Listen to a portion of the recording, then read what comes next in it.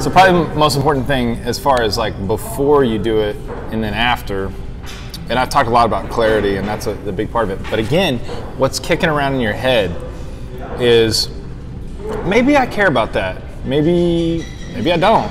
Maybe that's important to me. Maybe it's not. After your life plan, you go, that's exactly what I care about. That's exactly what's important to me. That is my core value. And it puts it all right there for you. It puts it right in front of you. You can't run away from it. It's like, that's exactly what I'm about. Does this job align with that?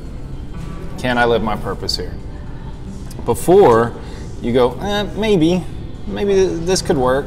Now you go, that doesn't work, or that absolutely could work.